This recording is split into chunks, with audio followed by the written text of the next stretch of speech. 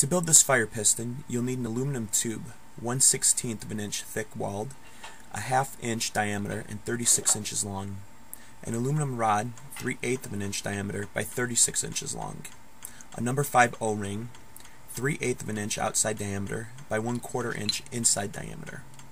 With the hacksaw, cut one 6 inch section of the aluminum tube, cut one 6 inch section of the aluminum rod, and cut one half inch section of the aluminum rod. Remove all the rough edges and burrs with the file.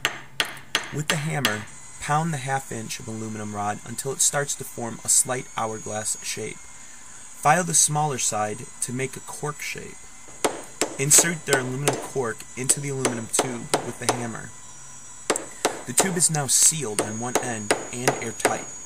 Place the 6 inch aluminum rod into a drill. Use the hacksaw and a file to create a groove for the O-ring. Check to see if it fits snugly into the tube.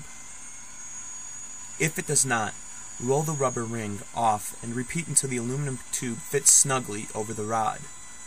Take your time on this step. Once the two fit together, use a very small amount of lubricant on the O-ring. Finally, drill a small cavity in which to place the tinder. Be sure to use a center punch.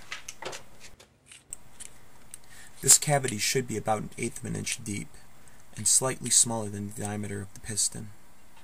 The total build time for this project is approximately 30 minutes.